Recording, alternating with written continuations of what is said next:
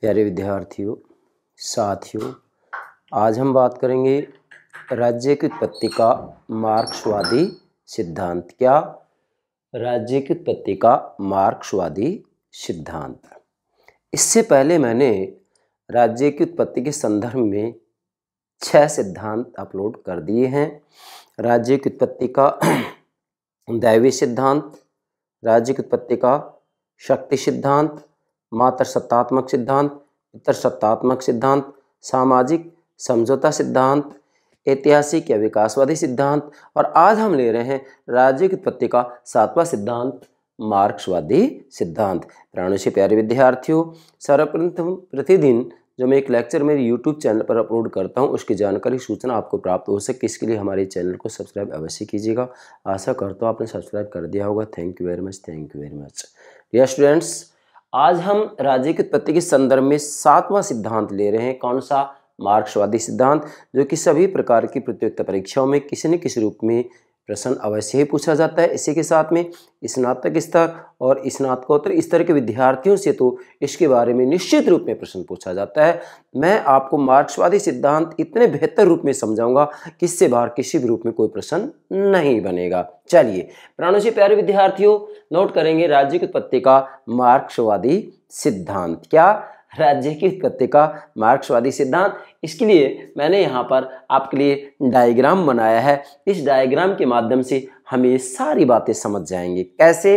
देखिएगा। मैंने यह नोट किया है मार्क्सवादी सिद्धांत। इसका मतलब क्या है? सबसे पहले नोट किया मैंने क्रांतिकारी दृष्टिकोण। अर्थात वास्तव में राज्य की उत्पत्ति के संदर्भ में जो विभिन्न सिद्धांत दिए गए हैं, जिनमें से मैंने आपको सात सिद्धांतों की चर्चा की सातवां आज चल रहा है। छह सिद्धांत मैंने अपलोड कर दिए हैं, जैसे दैवी सिद्धांत, शक्ति सिद्धांत, मातर सत्तात्मक सिद्धांत इतर सत्तात्मक सिद्धांत, सामाजिक समझौता सिद्धांत और ऐतिहासिक या विकासवादी सिद्धांत। तो ये छह के छह सिद्धांत हैं। राज्य की उत्पत्ति के संदर्भ में जो बातें बताते हैं, वो वास्तव में क्रांतिकारी विचार नहीं है। क्रांतिकारी विचार या क्रांतिकारी दृष्टिकोण तो केवल मार्क्सवादी सिद्धांत के अंतर्गत पाए जाते हैं। क्यों? क्योंकि वास्तविक रूप में राज्य की उत्पत्ति का जो मार्क्सवादी सिद्धांत है, यह है पूर्ण रूप में एक ऐसी समाज व्यवस्था की स्थापना चाहता है, जिसके अंतर्गत वास्तव में वर्ग विहीन और राज्य विहीन समाज की स्थापना होगी। अर्थात ना कोई वर्ग होगा, ना कोई राज्य होगा। परंतु राज्य की उत्पत्ति कैसी हुई? है राज्य की उत्पत्ति के बारे में मार्क्सवादी सिद्धांत कहता है कि राज्य का जन्म वर्ग संघर्ष के कारण हुआ है। किसके कारण हुआ है? वर्ग संघर्ष के कारण हुआ है। यह बात आपको नोट करनी है। जबकि अन्य पीछे सिद्धांतों का हमने अध्ययन किया है तो किसी ने कहा है कि राज्य वास्तविक रूप में व्यक्ति, परिवार का विराट रूप है। कोई कह रहा है कि शक्ति के माध्यम से इसकी उत्पत्ति हुई है। मतलब कोई कह रहा है कि राज्य व्यक्तियों के द्वारा निर्मित संस्था है, जैसे सामाजिक समझौता सिद्धांत ये बात कहता है, जबकि मार्क्सवादी सिद्धांत ये कह रहा है कि वास्तविक रूप में राज्य वर्ग संघर्ष की उत्पत्ति है। नोट करेंगे, मार्क्सवादी सिद्धांत क्या कहता है कि राज्य वर्ग संघर्ष की उत्पत्ति आपसे एग्ज़ाम में पूछी जा सकती है ये बात। तो मार्क्सवादी सिद्धांत मूलतः क्या मान के चलता है? कि राज्य वर्ग संघर्ष की उत्पत्ति है। और यह वर्ग संघर्ष प्रारंभ से ही चला आ रहा है। मतलब प्रारंभ में आदिमकालीन समाज व्यवस्था थी। आदिमकालीन समाज व्यवस्था के अंतर्गत वास्तविक रूप में संपत्ति का प्रादुर्भाव नहीं हुआ था। इसलिए किसी रूप में कोई वर्ग संघर्ष नहीं था। अब आदिमकालीन समाज के बाद में वास्तविक रूप में दूसरी जो अवस्था आती है, वो दास अवस्था आती है। दास अवस्था के अंतर्गत स्वामी और दास में आपस में संघर्ष होता है। क्यों? क्योंकि यहाँ पर वास्तविक रूप में संपत्ति का प्रादुर्भाव हो जाता है और तीसरा जो चरण आता है, वह सामंती अवस्था आता है। सामंती अवस्था के अंतर्गत वास्तविक रूप में सामंत और जागीरदार के अंतर्गत या किसानों के अंतर्गत मतलब सामंत जो होते हैं, उनमें और किसानों के मध्य आपस में संघर्ष होता है। फिर चौथी अवस्था आती है कौन सी अवस्था आती है? पूंजीवादी अवस्था आती है। पूंजीवादी अवस्था के अंतर्गत भी बुर्जुआ और सर्वहारा, अर्थात पूंजीपति और श्रमिकों के मध्य संघर्ष होता है। उसके बाद में पांचवी अवस्था आती है, संक्रमणकालीन अवस्था, जिसे कि सर्वहारा वर्ग की अवस्था कहा जाता है। इसके अंतर्गत श्रमिक और मजदूर वास्तविक रूप में पूंजीपति वर्ग का सफाया करना चाह रहे हैं। किसके लिए? जिससे कि वर्गविहीन समाज की स्थापना हो। और इसके बाद में छठी अवस्था आती है, जिसको कि समाधि व्यवस्था कहा जाता है। तो मार्क्सवाद वास्तविक रूप में राज्य के संदर्भ में ये छह चरणों की चर्चा करता है। इन छह चरणों के ऊपर मैं अलग से लेक्चर अपलोड करूँगा। यहाँ तो मैंने केवल संकेत दिया है, जिससे कि मेरे प्राणों से प्यारे विद्यार्थी इस बात को समझ सके, क्या कि राज्य वास्तविक रूप में वर्ग संघर्ष की उत्पत्ति है। अब हम एक एक बात को लेते हैं।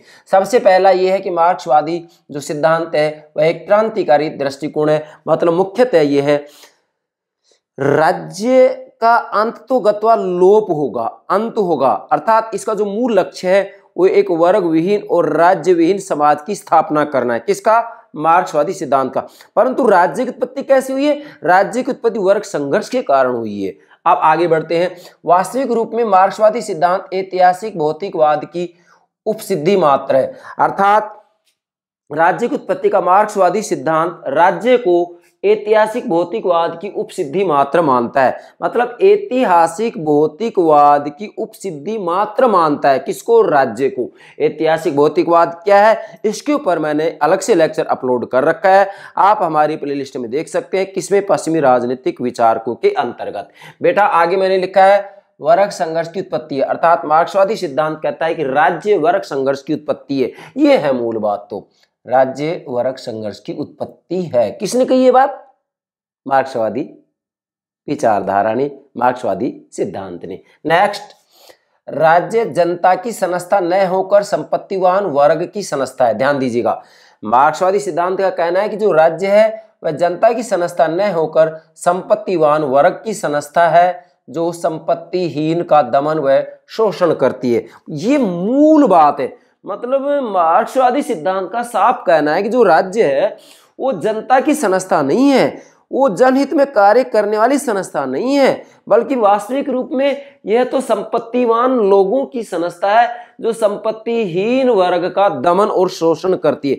इसलिए मार्क्सवादी सिद्धांत राज्य को एक शोषणकारी संस्था मानता है। एक दमनकारी यंत्र मानता है। मतलब राज्य को एक दमनकारी यंत्र मानता है, एक शोषणकारी यंत्र मानता है, एक शोषण का साधन मानता है। किसको? राज्य को। कौन मानता है? मार्क्सवादी सिद्धांत मानता है। मतलब मार्क्सवादी सिद्धांत वास्तविक रूप में राज्य को संपत्तिवान वर्ग की, संपत्तिवान वर्ग की संस्था मानता है और संपत्तिहीन वर्ग का दमन व शोषण करने वाला यंत्र या संस्था मानता है। कौन? मार्क्सवादी सिद्धांत। यस।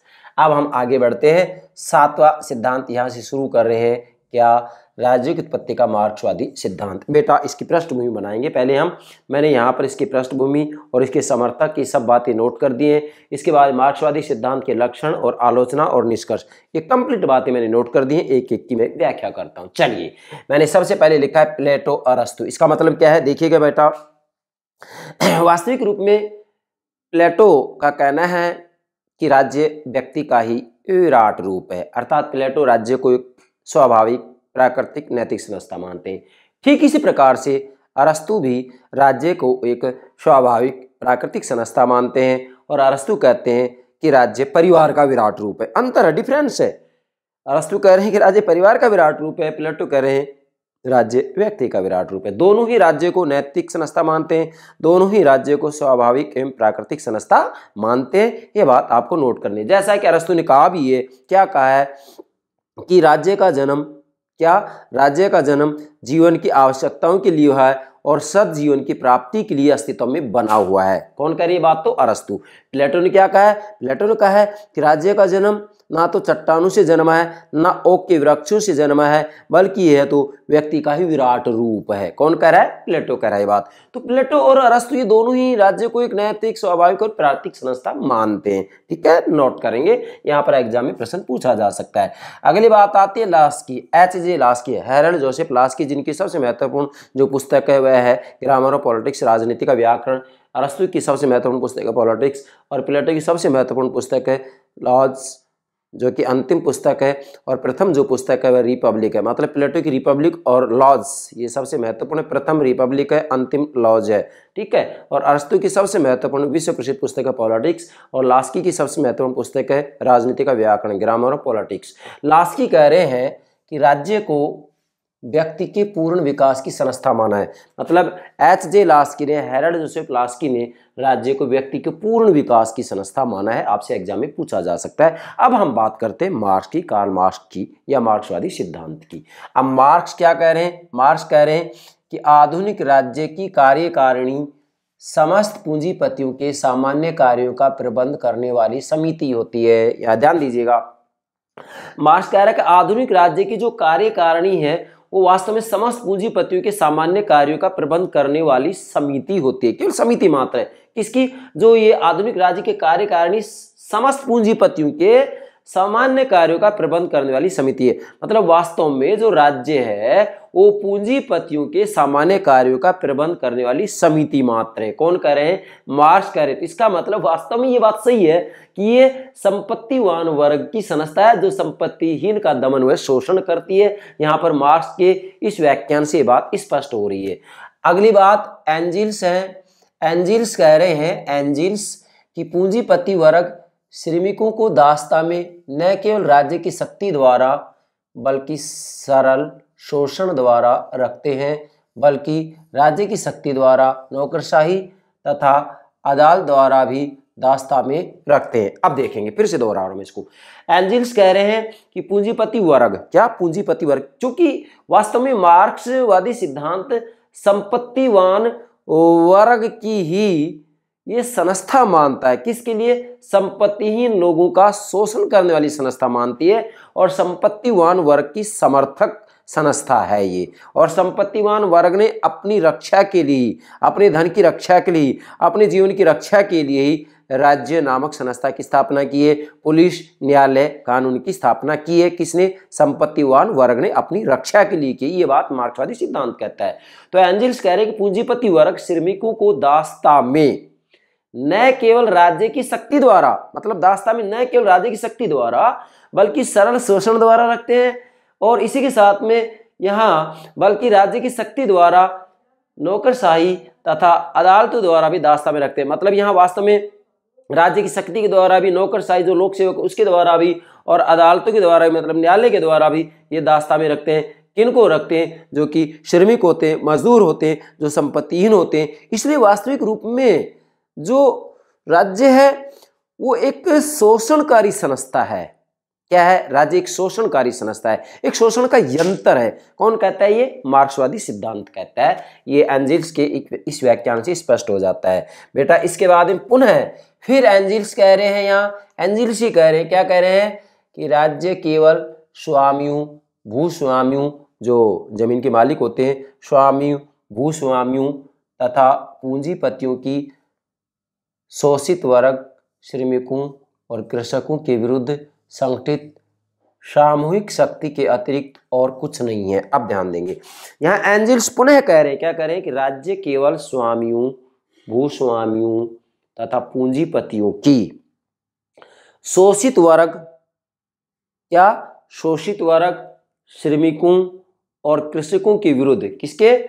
शोषित वर्ग, श्रमिकों और कृषकों के विरुद्ध संगठित सामूहिक शक्ति के अतिरिक्त और कुछ नहीं है। मतलब वास्तविक रूप में राज्य क्या है? स्वामियों, भूस्वामियों तथा पूंजीपतियों की शोषित वर्ग श्रमिकों और कृषकों के विरुद्ध संगठित सामूहिक शक्ति के अतिरिक्त कुछ नहीं है। मतलब वास्तविक रूप में कृषकों, श्रमिकों, मजदूरों का शोषण करने वाली संस्था मात्र है। किसने कही ये बात? एंजिल्स ने कही है।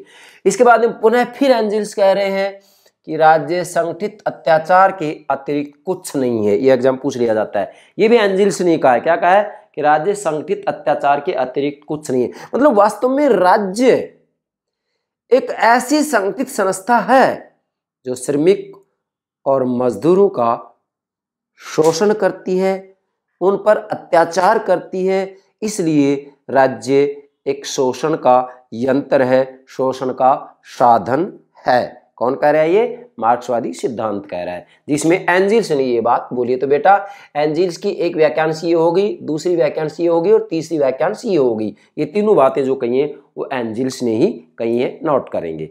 इसके बाद में राज्य की उत्पत्ति का जो मार्क्सवादी सिद्धांत है, भाई, जो ये कहता है कि वास्तव में राज्य वर्ग संघर्ष की उत्पत्ति है तो इसके मुख्य समर्थक कौन कौन हैं? इसके मुख्य समर्थक होंगे कार्ल मार्क्स नोट करेंगे Karl Marx Engels Lenin Stalin Mao Tse Tung short में बोलेंगे माओ पूरा नाम है माओ से तुंग ठीक है बेटा?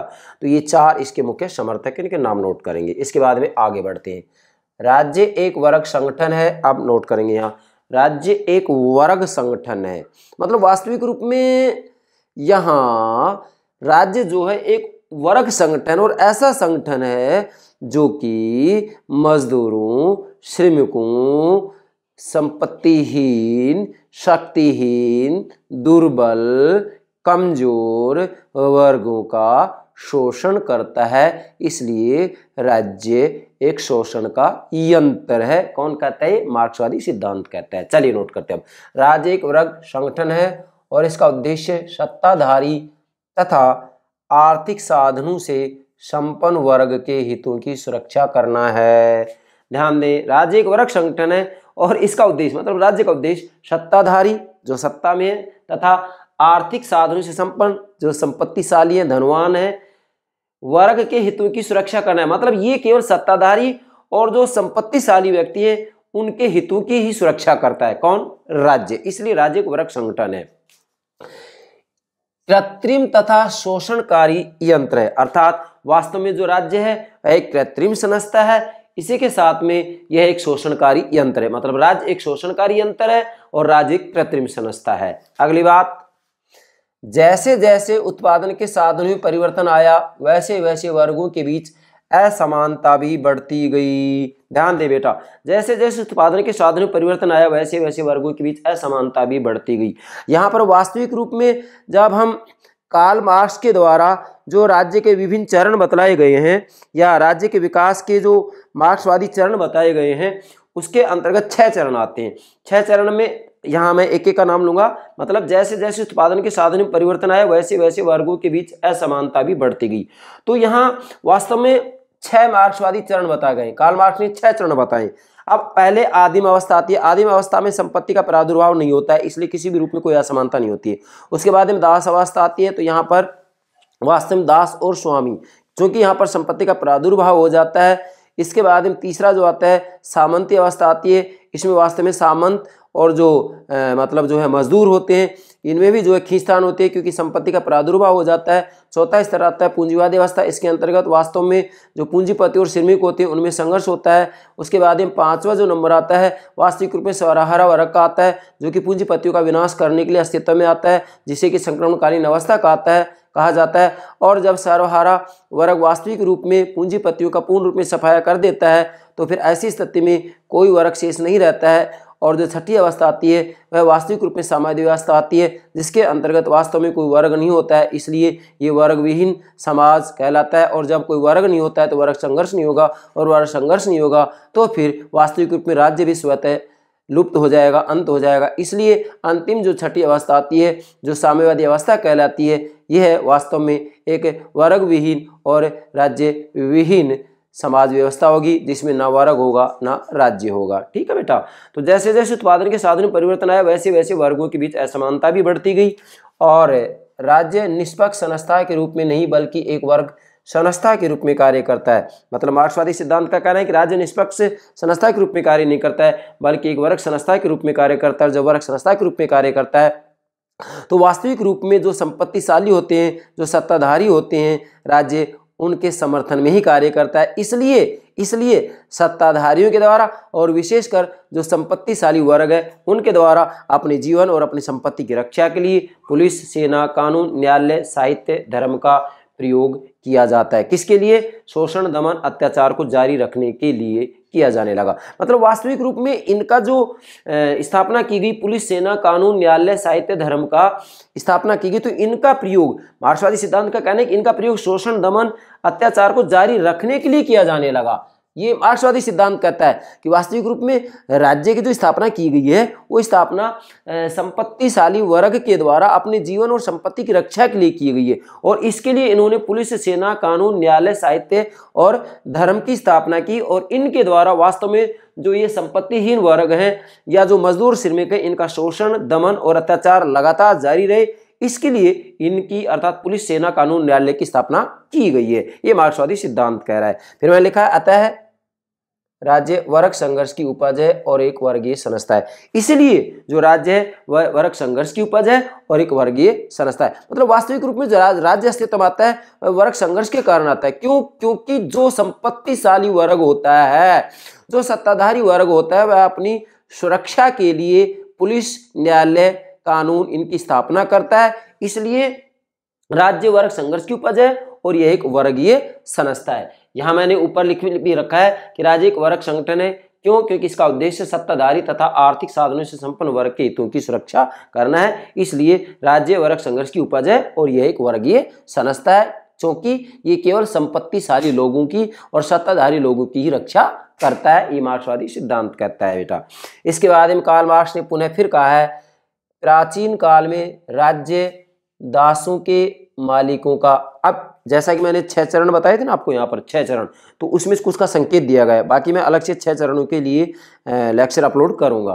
प्राचीन काल में राज्य दासों के मालिकों का राज्य था। मतलब यहाँ वास्तविक रूप में जिसको कि दास अवस्था कहा जाता है, जिसमें स्वामी और दास दो वर्ग होते हैं। दासों के मालिकों का राज्य था। उसके बाद में सामंती राज्य, निर्धन किसानों और मजदूरों को दबाने के लिए कुलीन वर्ग का यंत्र था और आधुनिक प्रतिनिधि राज्य मजदूरों का शोषण करने के लिए पूंजीपति वर्ग का एक साधन है। ये बात किसने कही है? कार्ल मार्क्स ने कही है। मतलब मूल बात यहाँ ये है कि केवल आदिम अवस्था को छोड़ करके और एक संक्रमणकालीन अवस्था जिसके अंतर्गत वास्तविक रूप में सर्वहारा वर्ग के द्वारा प्रयास किया जाएगा कि भाई पूंजीपतियों का पूर्णतः सफाया कर दिया जाए, जिससे कि समाज में कोई वर्ग नहीं रही। बाकी दास अवस्था के अंतर्गत सामंत अवस्था के अंतर्गत और पूंजीवादी अवस्था के अंतर्गत वास्तविक रूप में कटे छटे दो वर्ग थे और इनमें आपस में वर्ग संघर्ष रहता था। अर्थात जो संपत्तिशाली होता था, जो सत्ताधारी होता था, वो वास्तविक रूप में संपत्तिहीन और जो सत्ता में नहीं होते थे, उनका शोषण किया जाता था। ये कार्ल मार्क्स का कहना है मार्क्सवादी सिद्धांत का कहना है।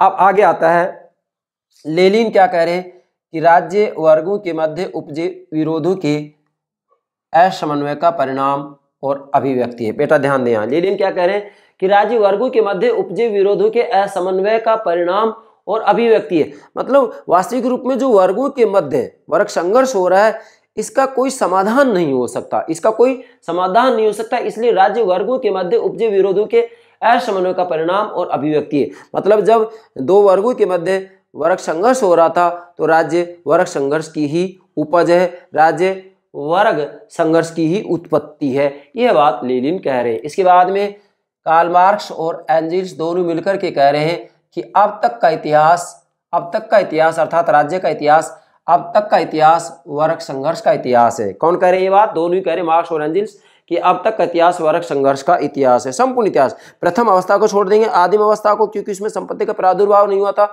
सभी समान थे, इसलिए वहाँ पर कोई वर्ग संघर्ष नहीं होता है। उसके बाद में दास अवस्था आती है, उसमें संघर्ष होता है, वर्ग संघर्ष होता है, सामंत अवस्था में वर्ग संघर्ष होता है पूंजीवादी अवस्था में वर्ग संघर्ष होता है, उसके बाद में संक्रमणकालीन अवस्था आती है, जिसको कि सौराहारा वर्ग के शासन का अवस्था कहा जाता है, इसके द्वारा पूंजीपतियों का सफाया कर दिया जाता है, उसके बाद में साम्यवादी अवस्था आती है, साम्यवादी अवस्था के अंतर्गत वास्तव में कोई वर्ग नहीं होगा, कोई वर्ग नहीं होगा तो वर्ग संघर्ष नहीं होगा, वर्ग संघर्ष नहीं होगा तो राजस्व ही लुप्त हो जाएगा। और जो सामाजिक अवस्था होगी, वास्तविक रूप में एक वर्ग विहीन और राज्य विहीन अवस्था होगी। अर्थात एक ऐसी समाज व्यवस्था होगी, जिसमें ना कोई वर्ग होगा, ना कोई राज्य होगा।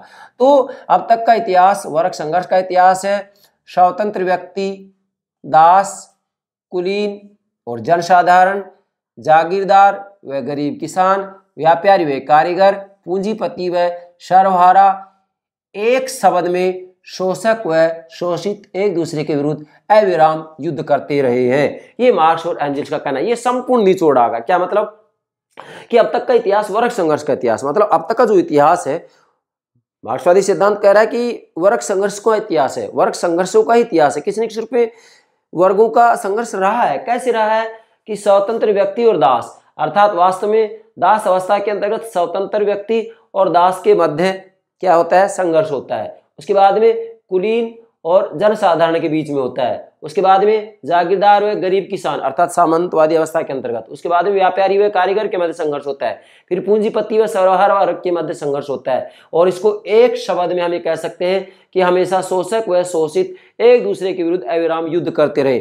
मतलब वास्तविक रूप में शोषक और शोषित। शोषक वो हैं जो शोषण करने वाले, अर्थात जो सत्ताधारी और संपत्तिशाली हैं और शोषित वो हैं जिनका शोषण किया जाता है, जो कि वास्तविक रूप में सत्ता में नहीं होते और जो कि संपत्तिहीन होते हैं, इनका शोषण किया जाता है। इसलिए एक शब्द में कहा जाए तो ये कह सकते हैं कि शोषक व शोषित एक दूसरे के विरुद्ध अविराम युद्ध करते रहे। ये बात मार्क्स व एंजिल्स ने कही है।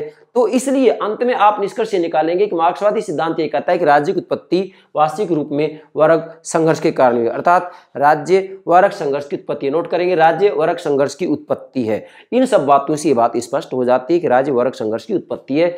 इसके बाद में राज्य की उत्पत्ति का जो मार्क्सवादी सिद्धांत है, इसके लक्षण देते हैं। चलिए आप इनको जल्दी से कर देते हैं। नंबर एक राज्य एक वर्ग संस्था है। वास्तविक रूप में मार्क्सवादी सिद्धांत राज्य को एक वर्गीय संस्था मानता है। क्यों मानता है? क्योंकि राज्य वास्तविक रूप में जो सत्ताधारी होते हैं, जो संपत्तिशाली होते हैं, उनके हितों की ही रक्षा करती है। इसलिए राज्य वास्तविक रूप में एक शोषण का यंत्र माना जाता है। दूसरा है, राज्य वर्ग संघर्ष की उपज है। ये स्पष्ट हो गया। मार्क्सवादी सिद्धांत ने स्पष्ट कहा है कि राज्य वर्ग संघर्ष की उत्पत्ति है। अर्थात यहाँ आपने देख लिया है कि वास्तविक रूप में शोषक व शोषित एक दूसरे के विरुद्ध अविराम युद्ध करते रहे इसलिए राज्य वर्ग संघर्ष की उपज है। ठीक है? तीसरा है, राज्य का विकास एक समान नहीं हुआ। इसका मतलब ये है कि वास्तविक रूप जो राज्य का विकास हुआ है, वो एक समान नहीं हुआ है। वास्तविक रूप में देखा जाए तो कुछ जगह है, कुछ जगह, कुछ देशों के अंतर्गत ये कुछ ज़रूरी नहीं है कि राज्य का विकास इसी तरीके से हुआ जिस तरीके से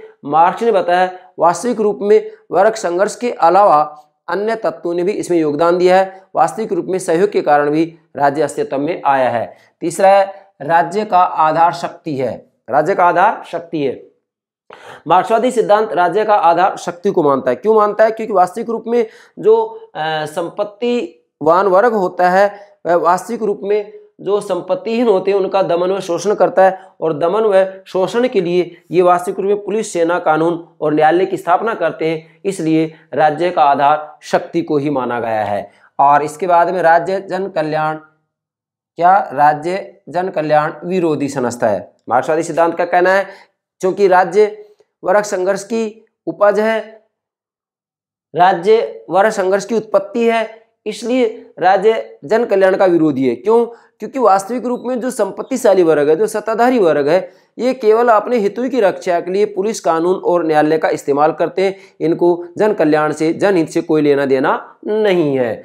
और छठा है, संकरणकालीन समय में राज्य। वास्तविक रूप में संकरण काल के अंतर्गत जो सर्वहारा वर्ग होता है, वो पूंजीपतियों का सफाया करने में लगा रहता है। और जैसे ही पूंजीपति वर्ग का सफाया हो जाएगा तो उसके बाद में साम्यवादी अवस्था आ जाएगी, जिसमें कोई वर्ग नहीं होगा। इसलिए संकरणकालीन समय में भी वास्तविक रूप में राज्य होता है, लेकिन उस राज्य का लक्ष्य क्या होता है? यहाँ पर किसी का शोषण करना नहीं है, बल्कि पूंजीपतियों का सफाया करना है, जिससे कि वर्ग विहीन समाज की स्थापना हो जाए और जब वर्ग विहीन समाज की स्थापना हो जाएगी, कोई वर्ग नहीं होगा तो वर्ग संघर्ष नहीं होगा, वर्ग संघर्ष नहीं होगा तो राज्य की कोई आवश्यकता नहीं होगी। सातवां है, राज्य एक कृत्रिम संस्था है। मार्क्सवादी सिद्धांत वास्तविक रूप में राज्य को एक कृत्रिम संस्था मानता है, जबकि प्लेटो रस्तु राज्य को एक स्वाभाविक, प्राकृतिक संस्था मानते हैं। अब राज्य को एक कृत्रिम संस्था इसलिए माना गया है, क्यों माना गया क्योंकि वास्तविक रूप में यहाँ जो संपत्तिवान वर्ग है, इन्होंने अपने जीवन और संपत्ति की रक्षा के लिए पुलिस, सेना, कानून और न्यायालय की स्थापना का प्रयोग किया है। किसके लिए? इनका, जो मजदूर श्रमिक इनका शोषण, दमन और अत्याचार करने के लिए। इसलिए वास्तविक रूप में राज्य एक कृत्रिम संस्था है। अर्थात ये एक स्वाभाविक और प्राकृतिक संस्था नहीं है। मार्क्सवादी सिद्धांत कह रहा है कि राज्य वास्तविक रूप में एक स्वाभाविक, प्राकृतिक, नैतिक संस्था नहीं है, बल्कि राज्य एक कृत्रिम संस्था है। और सातवां के बाद में आठवां राज्य का लोप हो जाएगा। मार्क्सवादी सिद्धांत का कहना है कि जैसे ही पांचवी अवस्था आएगी जिसको कि संक्रमणकालीन अवस्था कहा जाता है या जिसको कि सर्वहारा वर्ग के अधिनायक तंत्र का शासन कहा जाता है। इसके अंतर्गत वास्तविक रूप में सर्वहारा वर्ग के द्वारा पूंजीपतियों का सफाया किया जाएगा और इनका लक्ष्य ये होगा, क्या लक्ष्य होगा कि पूंजीपतियों का पूर्णतः सफाया हो जाए, उसके बाद में कोई वर्ग शेष नहीं रहेगा। कोई वर्ग शेष नहीं होगा ऐसी स्थिति में वर्ग संघर्ष नहीं होगा और वर्ग संघर्ष नहीं होगा तो फिर राज्य स्वतः समाप्त हो जाएगा। इसलिए वास्तविक रूप में राज्य का अंत में लोप हो जाएगा, जिसको कि राज्य विहीन और वर्ग विहीन समाज व्यवस्था का नाम दिया जाएगा। मतलब एक ऐसी समाज व्यवस्था की स्थापना हो जाएगी, जिसमें ना राज्य होगा और ना वर्ग होगा, ये आठवां होगा। तो मतलब कार्ल मार्क्स कह रहे हैं कि अंत तो गतवा राज्य लुप्त प्राय हो जाएँगे, राज्य समाप्त हो जाएँगे, क्योंकि वर्ग संघर्ष ही नहीं होगा। वर्ग संघर्ष नहीं होगा तो डेफिनेटली राज्य की कोई आवश्यकता नहीं होगी, क्योंकि वर्ग रहेंगे ही नहीं। सब समान हो जाएँगे। किसमें? साम्यवादी अवस्था के अंतर्गत, जो कि छठा चरण है मार्क्सवाद का। ठीक है बेटा? अब ये मार्क्सवाद के जो छह चरण है, छह चरणों पर मैं अलग से भी लेक्चर अपलोड करूँगा। इसके बाद में वहाँ डिटेल समझा दिया जाएगा। इसके बाद में राज्य की उत्पत्ति का मार्क्सवादी सिद्धांत इसमें क्या कमियाँ इसकी आलोचना की जाएगी। नंबर एक, राज्य वर्ग संघर्ष का परिणाम नहीं है। ध्यान दीजिएगा बेटा।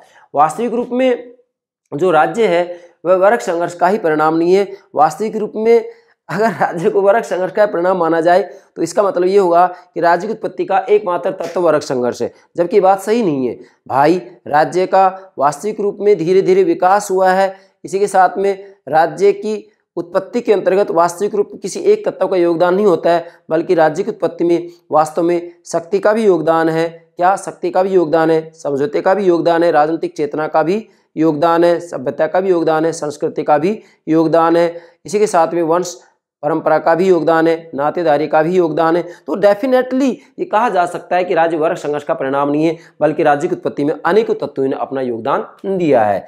इसके बाद में दूसरी जो आलोचना है, वह आर्थिक तत्व पर अत्यधिक बल। वास्तविक रूप में मार्क्सवादी सिद्धांत ने आर्थिक तत्वों के ऊपर सबसे ज़्यादा बल दिया है। इसका कहना है कि वास्तविक रूप में जो संपत्तिशाली वर्ग होता है, वह अपनी जीवन और संपत्ति की रक्षा के लिए कानून, पुलिस न्यायालय की स्थापना करता है, जिससे कि श्रमिक और मजदूरों का शोषण किया जाए। ये केवल केवल आर्थिक तत्व के ऊपर बल देता है और इसका कहना है कि वास्तविक रूप में जैसे जैसे उत्पादन के साधनों में परिवर्तन होता है वैसे वैसे आर्थिक संबंधों में भी परिवर्तन हो जाता है। इसका मतलब ये केवल केवल आर्थिक तत्वों को ही प्रधान मानता है। मतलब वास्तविक रूप में ये जब हम आधार और, क्या आधार और अधिरचना की बात करते हैं कि भाई समाज व्यवस्था का आधार होता है आर्थिक संबंध, आर्थिक तत्व और आधार के बाद में जो उसका आधार आधार के बाद में जो उसका आधार शिला के ऊपर होता है, जिसको अधिरचना कहते हैं मतलब आधार और अधिरचना। आधार में आर्थिक संबंध आ जाते हैं, उत्पादन के साधन आ जाते हैं और अधिरचना में कानून, संस्कृति, न्यायालय इत्यादि आ जाते हैं, धर्म, राजनीति आ जाते हैं। तो इसका कहना ये है कि जैसे जैसे आधार में परिवर्तन होगा वैसे वैसे अधिरचना में परिवर्तन हो जाएगा। मतलब जैसे जैसे वास्तविक रूप में उत्पादन के साधन में परिवर्तन होगा वैसे वैसे यहाँ जो अधिरचना है, अर्थात राजनीति, धर्म, कानून, इनके अंतर्गत परिवर्तन होगा। तो ये केवल आर्थिक तत्वों को ही सब कुछ मानता है, जबकि ये बात बिल्कुल गलत है। इसके अलावा अन्य तत्वों का भी योगदान होता है। तो आर्थिक तत्व पर ही अत्यधिक बल देता है, जो कि ठीक नहीं है। तीसरी आलोचना है, वर्ग रहित समाज एक कल्पना। वास्तविक रूप में मार्क्सवादी सिद्धांत का कहना है कि जो छठी अवस्था आएगी, छठी अवस्था आएगी, साम्यवादी अवस्था, इसके अंतर्गत किसी भी रूप में कोई वर्ग नहीं होगा। अर्थात वहाँ वास्तविक रूप में वर्ग रहित समाज होगा। अब यहाँ वास्तव में देखा जाए तो वर्ग रहित समाज का जो सपना देखा गया वह केवल एक कल्पना मात्र है। आज तक पूरी दुनिया में वर्ग रहित समाज की स्थापना नहीं हो पाई है। इसके बाद में यहाँ पर इसकी जो चौथी आलोचना है, वह राज्य एक कल्याणकारी संस्था है। ध्यान दीजिएगा। अब वास्तव में जो मार्क्सवादी सिद्धांत है, वह राज्य को केवल एक शोषणकारी यंत्र मानता है जबकि सच्चाई ये है कि राज्य कल्याणकारी संस्था है। आधुनिक समय में हम देखते हैं कि राज्य के द्वारा जन कल्याण से संबंधित अनेकों कार्य किए जाते हैं। इसलिए राज्य केवल एक शोषणकारी यंत्र ही नहीं है, बल्कि जन कल्याण से संबंधित कार्य करने वाली संस्था भी है। ठीक है? पांचवा राज्य का आधार बल नहीं है। मतलब वास्तविक रूप में मार्क्सवादी सिद्धांत राज्य का आधार केवल बल को मानता है, शक्ति को मानता है। जैसा कि यहाँ पर मैंने आपको कहा है कि संपत्तिशाली जो वर्ग होता है, वह अपने जीवन और संपत्ति की रक्षा के लिए पुलिस, सेना, कानून और न्यायालय का प्रयोग करता है। किसके लिए? श्रमिक और मजदूरों का शोषण, दमन और अत्याचार करने के लिए। लेकिन सच्चाई है कि राज्य का आधार केवल बल नहीं है, बल्कि इच्छा है। जैसा कि टी ग्रीन ने कहा है यहाँ पर मैं नोट भी किया है टी एच ग्रीन ने कहा है कि राज्य का आधार शक्ति नहीं है, बल्कि इच्छा है। किसने कहा है? टी एच ग्रीन ने कहा है कि राज्य का आधार शक्ति नहीं है, बल्कि इच्छा है। नोट करेंगे टी एच ग्रीन करें थॉमस हिल ग्रीन करें कि राज्य का आधार शक्ति नहीं है, बल्कि इच्छा है। किसने कही बात? टी एच ग्रीन ने थॉमस हिल ग्रीन ने। तो पाँच आलोचना होगी, छठी आलोचना है, दो वर्गों का सिद्धांत भी गलत है। वास्तविक रूप में मार्क्सवादी सिद्धांत केवल दो वर्गों का सिद्धांत देता है। ये वास्तव में जैसे आदिम अवस्था के अंतर्गत तो संपत्ति का प्रादुर्भाव नहीं होता है तो वहाँ पर कोई वर्ग नहीं होता है। उसके बाद में दास अवस्था, सामंती अवस्था और पूंजीवादी अवस्था, इन तीनों के अंतर्गत, तीनों अवस्था के अंतर्गत दो दो वर्ग होते हैं। लेकिन आलोचकों का कहना है कि दो वर्गों का सिद्धांत भी गलत है। क्यों गलत है? क्योंकि जब हम वास्तविक रूप में हमारे भारत के अंतर्गत मनु की मनुस्मृति का अध्ययन करते हैं तो मनुस्मृति के अंतर्गत वास्तविक रूप में चार वर्गों का उल्लेख किया गया है। जिसको कि हम एक प्रकार से चार वर्ण भी कहते हैं, ब्राह्मण, क्षत्रिय ब्राह्मण क्षत्रिय और शूद्र। तो चार वर्गों की बात की गई मनु के द्वारा, प्लेटो के द्वारा भी तीन वर्गों का उल्लेख किया गया है। कौन कौन से? जैसे दार्शनिक शासक वर्ग, दार्शनिक शासक वर्ग, नोट कीजिएगा, दार्शनिक शासक वर्ग, सैनिक वर्ग, उत्पादक वर्ग। ठीक है? मतलब यहाँ मानवीय आत्मा के तीन तत्व बताता है प्लेटो, विवेक, साहस और क्षुधा या तृष्णा और इन मानवीय आत्मा के तीन तत्वों के आधार पर ही समाज में तीन वर्ग बन जाते हैं, जिसको दार्शनिक शासक वर्ग, सैनिक वर्ग, उत्पादक वर्ग कहते हैं। तो प्लेटो भी वास्तविक रूप में तीन वर्गों की बात करते हैं और आधुनिक समय में भी, आधुनिक समय में भी तीन वर्ग माने जाते हैं। उच्च वर्ग, मध्यम वर्ग और निम्न वर्ग। इसलिए दो वर्गों का सिद्धांत भी मार्क्स का गलत है। ठीक है बेटा? इसके बाद में अगला है सातवां, हिंसा को बढ़ावा। हिंसा को बढ़ावा। वास्तविक रूप में जो मार्क्सवादी सिद्धांत है, इसका कहना है कि पूंजीपतियों का सफाया बिना हिंसा के तोड़फोड़ के नहीं हो सकता। इसलिए सराहरा वर्ग को स्पष्ट रूप में कह रहा है कि पूंजीपतियों का बलपूर्वक तरीके से सफाया कर दिया जाए। क्योंकि जब तक बल का प्रयोग नहीं किया जाएगा, हिंसा का प्रयोग नहीं किया जाएगा, तब तक पूंजीपतियों का सफाया नहीं हो सकता। इसलिए वास्तव में जो मार्क्सवादी सिद्धांत है, वह हिंसा को बढ़ावा देता है और हिंसा को बढ़ावा देने वाला कोई भी सिद्धांत वास्तविक रूप में एक अच्छा या श्रेष्ठ सिद्धांत नहीं हो सकता। इसके बाद में आठवां है, अव्यवहारिक सिद्धांत है ये। अव्यवहारिक सिद्धांत क्यों है? क्योंकि वास्तविक रूप में मार्क्सवादी सिद्धांत का कहना है कि जो राज्य की उत्पत्ति का सिद्धांत है, जिसमें कहा गया है कि राज्य वर्ग संघर्ष की उत्पत्ति है तो इसके अंतर्गत वास्तव में अंत में जाकर के ये कहा जाएगा कि भाई, जो सर्वहारा वर्ग है, सर्वहारा वर्ग के द्वारा पूंजीपतियों का सफाया किया जाएगा और पूंजीपतियों का सफाया जब किया जाएगा तो वास्तव में उस समय सर्वहारा वर्ग के द्वारा, अर्थात उस समय एक राज्य की भूमिका अदा करेगा वो। लेकिन वास्तव में वह एक शोषणकारी यंत्र के रूप में नहीं होगा, बल्कि वो पूंजीपतियों के सफाया करने के लिए ही होगा। लेकिन वास्तव में ये बात सत्य नहीं, क्यों नहीं है? क्योंकि यहाँ लॉर्ड डैक्टन ने कहा है, क्या कहा है कि शक्ति व्यक्ति को भ्रष्ट करती है और पूर्ण शक्ति व्यक्ति को पूर्ण रूप में भ्रष्ट कर डालती है, इसलिए सारा हारा वर्ग भी इससे बच नहीं सकता। क्या हरा वर्ग की जो क्रांति है या सराहा वर्ग हरा वर्ग का जो अधिनायक तंत्र है, वह भी वास्तविक रूप में शक्ति के दुरुपयोग से बच नहीं सकता। किसने की बात? लॉर्ड एक्टन ने कही लॉर्ड एक्टन क्या करें? कि शक्ति व्यक्ति को भ्रष्ट करती है और पूर्ण शक्ति व्यक्ति को पूर्ण रूप में भ्रष्ट कर डालती है। लॉर्ड एक्टन ने कहा है। इसको देख सकते हैं हम। जैसे रूस में 1917 में क्रांति होती है, चीन में उन्नीस सौ उनचास में क्रांति होती है। अब यहाँ पर 1917 में रूस में क्रांति हुई, चीन में उन्नीस सौ उनचास में हुई। यहाँ पर इसलिए हुई थी कि भी किसी न किसी रूप में जो है या एक वर्ग विहीन समाज की स्थापना हो, लेकिन यहाँ पर वर्ग विहीन समाज की स्थापना नहीं हो पाई। उसके बाद में उन्नीस में सोवियत संघ का विघटन हो गया, परंतु आज भी हम देखते हैं कि सोवियत संघ का विघटन होने के बावजूद भी वहाँ पर राज्य बरकरार है। इसलिए जो ये मार्क्सवादी सिद्धांत है, वह नितान्त अव्यवहारिक है। ज़्यादातर विद्वानों ने तो यहाँ तक कह दिया है कि वास्तविक रूप में मार्क्सवादी सिद्धांत आज के युग में अप्रासंगिक है। इसकी कोई सार्थकता नहीं है, कोई प्रासंगिकता नहीं है। लेकिन हम कह रहे हैं कि जब तक समाज में, जब तक दुनिया में अमीरी और गरीबी में अंतराल रहेगा, गैप रहेगा, तब तक मार्क्सवादी सिद्धांत की सार्थकता रहेगी रहेगी रहेगी। ठीक है? अच्छा इसके बाद हम निष्कर्ष की बात करते हैं हम। अब निष्कर्ष रूप में मैंने यहाँ लिखा है कि व्यक्तिगत संपत्ति के कारण वर्ग विभेद बढ़ा। अर्थात अब यहाँ पूरे मार्क्सवादी सिद्धांत का निचोड़ ले रहे हैं। क्या ले रहे हैं? कि जैसे जैसे व्यक्तिगत संपत्ति का प्रादुर्भाव हुआ। जैसे आदिम अवस्था में तो संपत्ति का प्रादुर्भाव नहीं हुआ था, उसके बाद में दास अवस्था, सामंत अवस्था और पूंजीवादी अवस्था के अंतर्गत संपत्ति प्रादुर्भाव हो जाता है, संपत्ति का अस्तित्व में आ जाता है। तो व्यक्तिगत संपत्ति के कारण वर्ग विभेद बढ़ता है, वर्गों में संघर्ष होता है और जब वर्गों में संघर्ष होता है तो ऐसी स्थिति के अंतर्गत वास्तव में जो संपत्तिशाली वर्ग होता है, जो शक्तिशाली वर्ग होता है, जो सत्ताधारी वर्ग होता है, वह अपने जीवन और अपनी संपत्ति की रक्षा के लिए पुलिस, न्यायालय और कानून की रक्षा करता है। किसके लिए? जिससे कि संपत्तिहीन श्रमिक और मजदूरों का शोषण किया जा सके। इसलिए इसके लिए फिर इनको मतलब संपत्तिशाली वर्ग को, सत्ताधारी वर्ग को कानूनों की आवश्यकता होती है। किसकी आवश्यकता होती है? कानून की आवश्यकता होती है और कानून की आवश्यकता ही राज्य की उत्पत्ति का आधार है। मतलब फिर इनको कानून की आवश्यकता होती है और जब कानून की आवश्यकता होती है, जिससे कि संपत्तिवान वर्ग अपने जीवन की, अपनी संपत्ति की रक्षा कर सके, श्रमिक मजदूरों का शोषण कर सके। इसके लिए फिर ये क्या करते हैं? पुलिस, सेना, कानून, न्यायालय, साहित्य, धर्म का प्रयोग, मजदूर, श्रमिकों का शोषण, दमन और अत्याचार करने के लिए करते हैं। इसलिए कानून की आवश्यकता ही राज्य की उत्पत्ति का आधार है। मतलब इनको मतलब संपत्तिशाली वर्ग को, संपत्तिशाली वर्ग को या एक शब्द में हम कहें तो जो शोषक होते हैं, इनको वास्तविक रूप में अपनी रक्षा के लिए कानून की आवश्यकता होती है और कानून की आवश्यकता ही राज्य की उत्पत्ति का आधार है। ये मार्क्सवादी सिद्धांत का निष्कर्ष या निचोड़ होगा। अंत में मैं पुनः कहूँगा कि राज्य की उत्पत्ति का मार्क्सवादी सिद्धांत स्पष्ट रूप में कहता है कि वास्तव में राज्य वर्ग संघर्ष की उत्पत्ति है। यहाँ पर आप नोट कर सकते हैं, राज्य वर्ग संघर्ष की उत्पत्ति है और जो मार्क्सवादी सिद्धांत है इसका जो अंतिम सपना है, वो है राज्य विहीन और वर्ग विहीन समाज की स्थापना। मतलब एक ऐसी समाज व्यवस्था जिसमें ना तो कोई वर्ग होंगे, जब वर्ग नहीं होंगे तो वर्ग संघर्ष नहीं होंगे और वर्ग संघर्ष नहीं होगी तो फिर राज्य की कोई आवश्यकता नहीं होगी और अंततः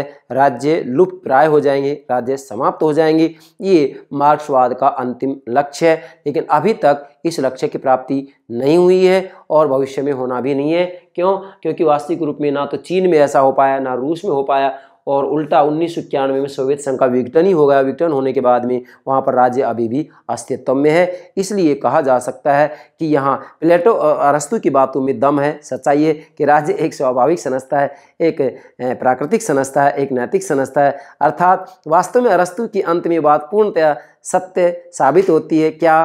कि भाई जो व्यक्ति ये कहता है कि मुझे राज्य की कोई आवश्यकता नहीं है, वह व्यक्ति व्यक्ति नहीं है, या तो वह देवता है, या फिर वह पशु है, जंगली जानवर है। क्यों? क्योंकि मनुष्य राज्य और समाज के बिना नहीं रह सकता। इसलिए मार्क्सवादियों का जो सपना है कि भाई अंत तो गत्वा राज्य लुप्त प्राय हो जाएँगे, राज्य समाप्त हो जाएँगे तो ये डेफिनेटली एक अव्यवहारिक बात दिखाई देती है, बिना राज्य के काम नहीं चल सकता। ठीक है?